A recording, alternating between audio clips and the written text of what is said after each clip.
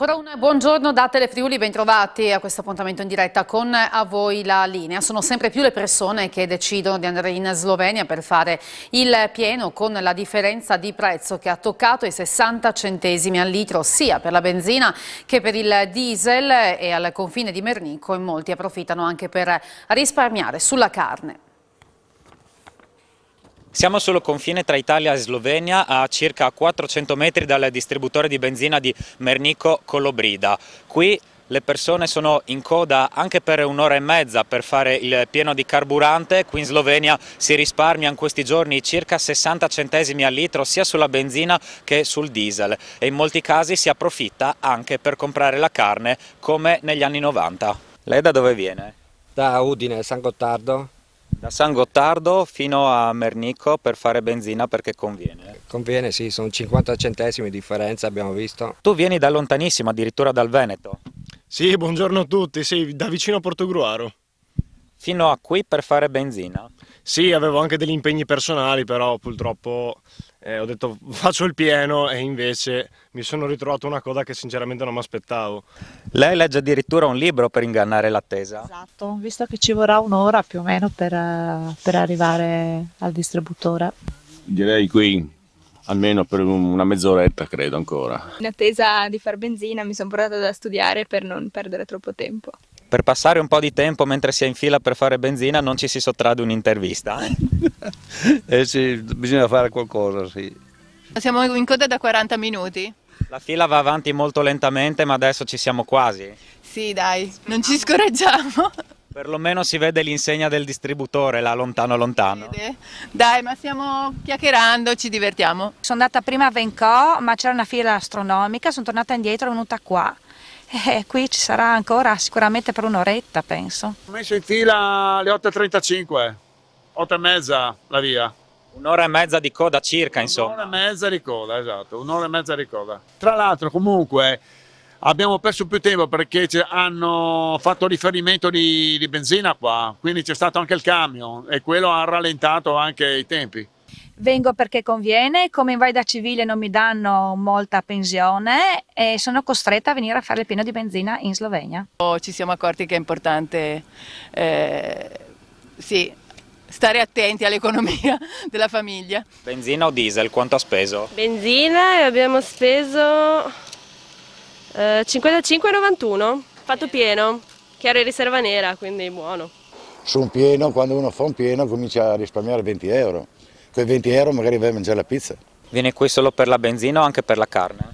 Generalmente vengo per la benzina, però eh, occasionalmente anche per la carne perché è più conveniente. Sulle sigarette risparmierai quei 10, 12, 13 euro a stecca e sulla carne risparmierai sempre quei 10 euro al chilo, perché qua c'è Rosbif a 12, in Italia anche a 30 euro. Avete tanta gente che si ferma qui a comprare la carne poco in là del confine? Sì, tanta, sempre di più. Sono cresciuti i prezzi anche qui, ma resta comunque conveniente rispetto all'Italia. Quello sicuramente. Che cosa comprano in particolare i vostri clienti? Eh, civa, rosbif, filetto, pollo, questo va di più. Lei faceva la fila qui in Slovenia anche negli anni 80-90, ci racconti di quel periodo? Sì, anche prima. Venivo con la 500, io che non teneva, teneva niente il serbatoio, però si veniva perché già si risparmiava. E si riempiva il bagagliaio di carne? Eh, carne, burro, sì, quelle cose lì, sì, sì. Sono tempi che stanno tornando. Purtroppo sì, purtroppo sì. 50 anni fa a Caporetto era la stessa cosa. Non c'era ancora il, il distributore nuovo, addirittura quasi da stupizza c'era, bisognava alle 7 di mattina c'era già la coda sul vallico. Si ricorda bene di quei tempi? Eh, come? Mi ricordo benissimo, mi ricordo. So, sa quante volte sono passato di qua per fare benzina? E non solo? E non solo, per prendere un po' di carne, per prendere qualche altra cosa. Negli anni 90, gli anni 89, 88, quando era, era tornato a aumentare la benzina, qui era a metà Arriviamo a Udine dove è già stato trovato in via Atimis a qualche centinaio di metri dalla sua sede e ripristinato il palo commemorativo intitolato a Norma Cossetto. Per evitare nuovi atti vandalici è stata aggiunta una piccola colata di cemento sul posto il sindaco Fontanini e l'assessore Ciani. Mi trovo in piazzale Norma Cossetto e il cartello che praticamente era stato sradicato è stato trovato qui vicino in via Attimis e questa mattina è stato riposizionato. Ne parliamo con il sindaco di Udine Pietro Fontanini. È la seconda volta che qualcuno si accanisce nei confronti di questo cartello. Sì, è una cosa molto grave e noi siamo rimasti veramente colpiti da questo ulteriore atto di vandalismo. Per fortuna abbiamo ritrovato il cartello a circa 200 metri di distanza, oggi gli operai del comune lo hanno riposizionato nel suo posto. Io non riesco a capire questo, questo odio perché non penso che ci siano altre motivazioni nei confronti di questa persona che è morta, torturata, seviziata e, e, e, qualcuno non vuole che questo luogo sia intitolato a lei. È una cosa gravissima eh, ho sentito molte testimonianze di solidarietà nei confronti tra l'altro del comune in questo caso che ha deciso di intitolare questo luogo a Norma Cossetto. Speriamo che sia l'ultima volta che qualcuno si accanisse. Noi in ogni caso prenderemo dei provvedimenti non dico cosa, ma si può intuire che quest'area sarà sorvegliata e quindi eh, speriamo di identificare chi magari vorrà tornare a, a, provocare una cosa del genere. Oggi abbiamo ripristinato, quindi siamo stati molto rapidi, ringrazio i, i dipendenti del comune che hanno agito con grandissima velocità per ripristinare questo cartello. Con noi anche l'assessore alla sicurezza Ciani, ma effettivamente sul territorio sono già accaduti eh, eventi, fenomeni di questo, di questo, genere, tra l'altro anche ripetuti nei, nei confronti di uno stesso soggetto? Sì, e purtroppo eh, un paio d'anni fa eh, vicende analoghe sono accadute al Parco Martiri delle Foibe, quindi è evidente che si tratti di persone che vogliono negare una vicenda storica che ha eh, riguardato anche eh, le nostre terre ed questo ovviamente rende, rende, il tutto ancora più grave. Eh, si tratta di eh, persone che negano, negano vicende eh, molto delicate che invece non vanno negate ma vanno raccontate, eh, su cui bisogna ancora oggi eh, riflettere e parlare ai, soprattutto ai più giovani di queste vicende. è giusto però che il comune non molli e che non si arrenda a personaggi di questo tipo.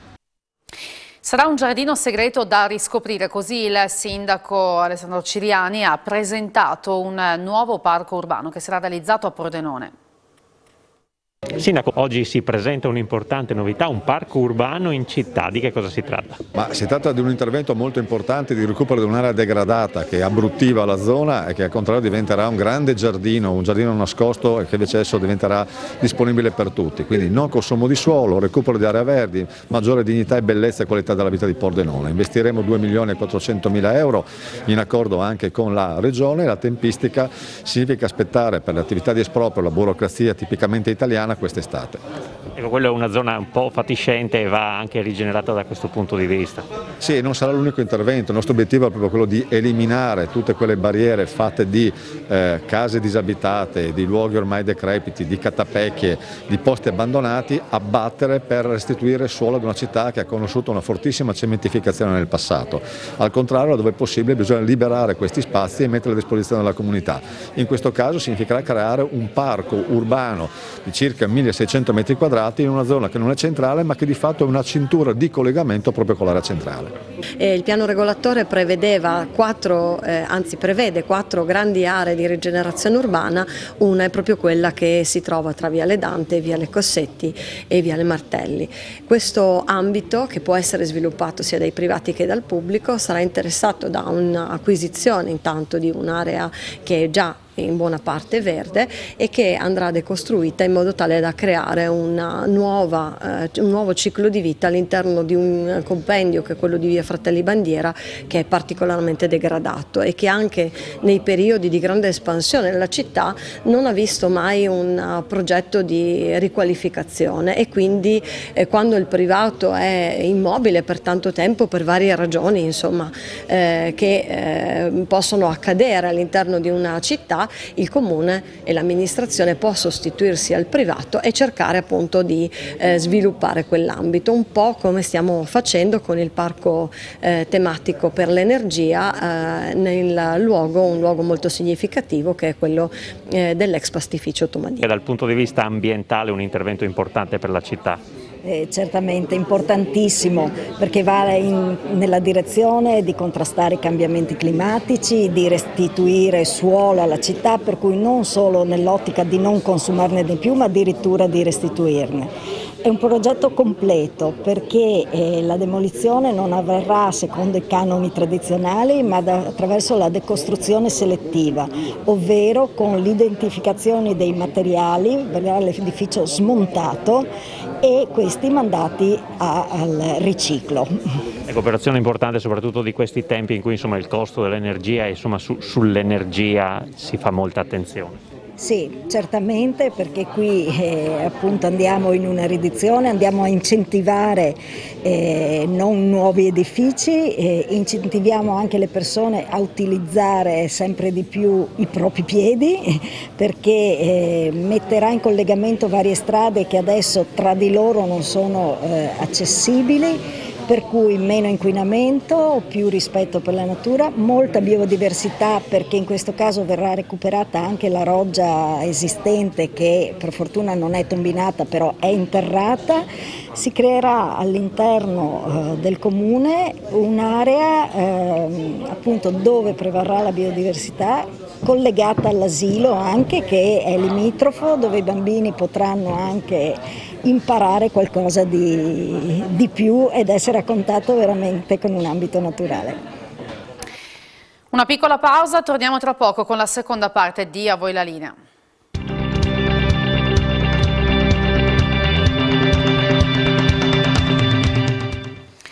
Noi ora ci colleghiamo con eh, Marco Makoric che sta raggiungendo per noi il confine con l'Ucraina, in questo momento si trova a Zahoy in Ungheria che è poco distante dal paese, in guerra.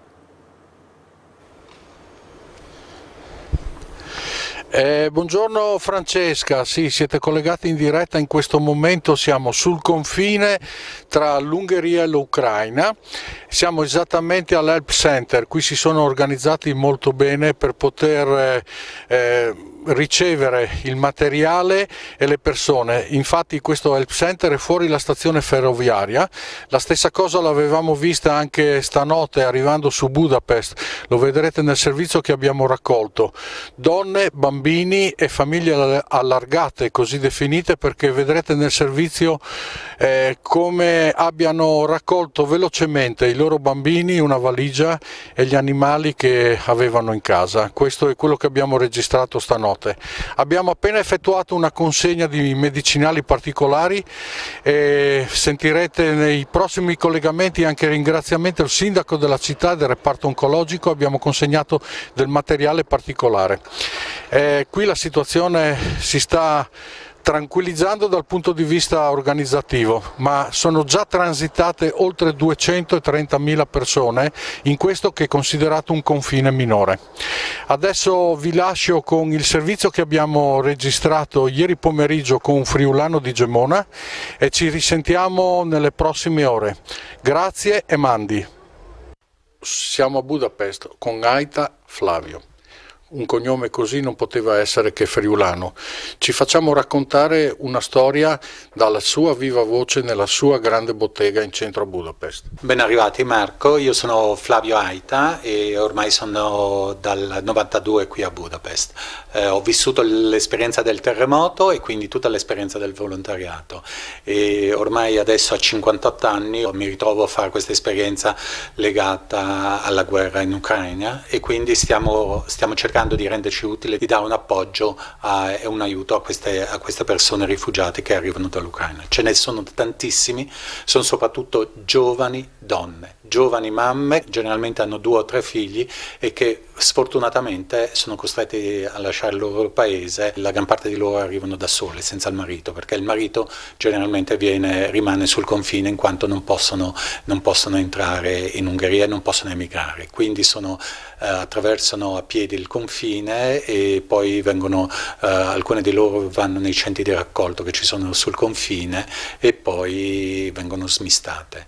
Noi abbiamo cercato di alloggiare eh, alcune di queste famiglie, la prima ondata è stata la più fortunata diciamo, adesso c'è la seconda ondata e veramente eh, sono, ce ne sono tantissimi, noi abbiamo dato ospitalità a una mm, bellissima giovanissima uh, famiglia con due bambini, adesso stiamo aspettando un altro gruppo di tre donne, tre mamme con uh, cinque figli che verranno alloggiati in uno dei nostri appartamenti. E poi anche casa nostra è aperta a... Um, a molte di queste eh, giovani mamme che decidono magari di, di stare uno o due giorni e poi continuare per altri paesi europei.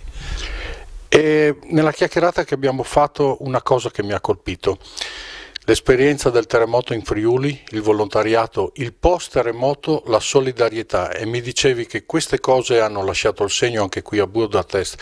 In te e naturalmente ti hanno fatto scattare questa molla di solidarietà, ma vorremmo sentire dalla tua voce anche le cose che più ti hanno impressionato in queste due settimane. Beh, eh, sicuramente la mia esperienza del terremoto e del, del, volontariato che ci hanno aiutato nel, nel 76 mi ha in un certo senso formato molto e quindi eh, noi a livello di Friulano a Budapest con altri anche amici italiani eh, qui ci siamo, ci siamo, dati da fare, stiamo cercando di darci da fare. Eh, la, quello che è impressionante è vedere il coraggio delle donne le donne, eh, se ti capiterà di andare a visitare la stazione Keleti, lì eh, vedrai che ci sono tantissime di queste donne che hanno veramente con i bambini e vedi che hanno, sono coraggiose, che eh, sostengono i loro figli e che danno, sono molto attive. E poi soprattutto queste famiglie che non hanno lasciato i loro animali eh, domestici, quindi viaggiano molto spesso con cani, con i gatti e, e, e, in un certo senso questo ti dà il senso che l'amore eh, e la passione per, per, la famiglia allargata, intendendo anche gli animali che non sono stati abbandonati a se stessi. Torniamo in regione ma con un tema connesso alla situazione di guerra, quello eh, relativo ai consumi energetici. Politica energetica regionale cercasi è il titolo infatti di un incontro organizzato a Udine dal gruppo consigliare regionale di Patto per l'Autonomia. Il capogruppo Massimo Moretuzzo invita la giunta regionale a individuare strumenti economico-finanziari e aiuti alle aziende che installano il fotovoltaico.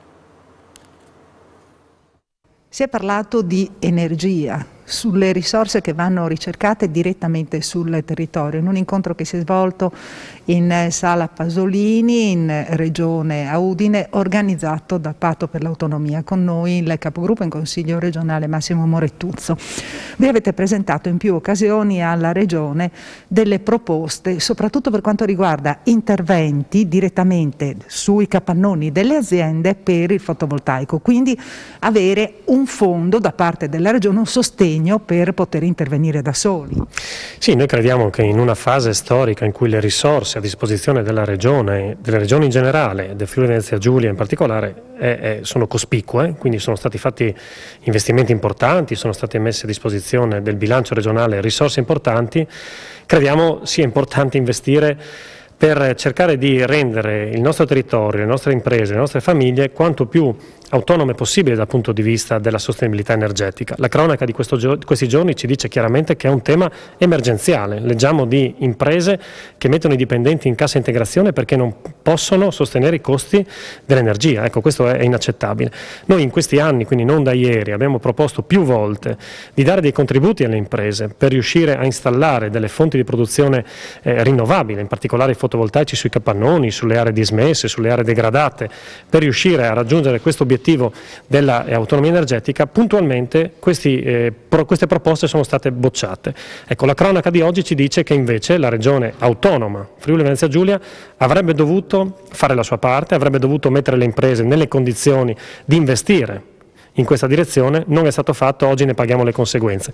Crediamo non sia più rinviabile un piano energetico regionale veramente innovativo che vada in questa direzione e che metta le risorse dove servono. Quindi voi in sostanza puntate sul fotovoltaico, ma a suo tempo avevate puntato anche sullo sfruttamento dei corsi d'acqua che no, non sono naturali. Sì, noi diciamo che ad esempio una delle proposte che avevamo fatto e che sono state anche in quel caso bucciate era quello di finanziare i consorzi di bonifica per fare uno studio di quali possono essere i salti dentro i corsi d'acqua non naturali per installare delle centraline che hanno un impatto ambientale nullo e che potrebbero aiutare. Anche in quel caso la proposta è stata bocciata, non sono stati fatti investimenti investimenti significativi in quella direzione e, invece vediamo che le risorse vengono messe da tutt'altra parte, impianti sciistici a bassa quota, a 1200 metri, vediamo municipi finanziati in qualche valle sperduta de, de, della Carnia per 5 milioni di euro, vediamo il bonus eh, bellezza eh, per gli immobili, vediamo investimenti che incentivano addirittura il consumo di suolo in un settore come quello dell'edilizia che tutto avrebbe bisogno oggi meno che di incentivi in aggiunta a quelli statali. Ed è tutto per quest'ultimo appuntamento settimanale con A Voi la Linea che torna lunedì alle 12.45. Grazie per averci seguito e buon pomeriggio, arrivederci.